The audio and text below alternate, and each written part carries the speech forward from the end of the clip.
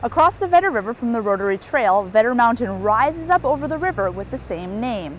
Locally, it's referred to as Vedder Mountain, but really the mountain is one long range. The highest point on the mountain is Vedder Peak, which has an elevation of 924 meters or 3,031 feet.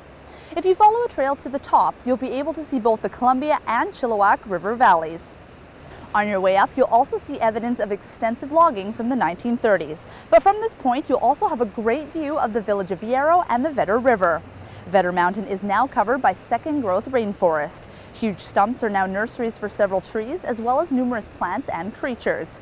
The mountainside is covered by western hemlocks, Douglas firs, cedars, maples and alders, and deer, bears, coyotes, bobcats, and cougars call this area home.